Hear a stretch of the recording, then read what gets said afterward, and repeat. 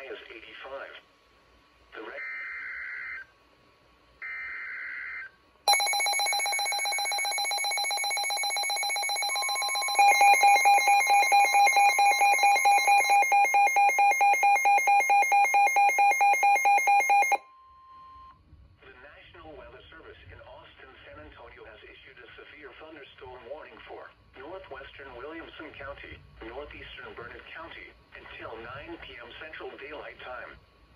At 7.59 p.m. Central Daylight Time, a severe thunderstorm was located near Watson, or 12 miles south of Copperas Cove, moving south at 20 miles per hour.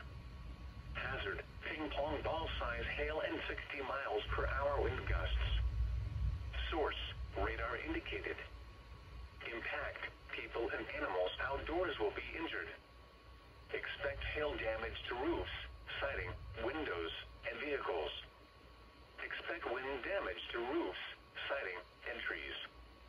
Locations impacted include Georgetown, Bertram, Liberty Hill, Florence, Mahomet, Watson, Joppa, Andice, and Briggs. For your protection, move to an interior room on the lowest floor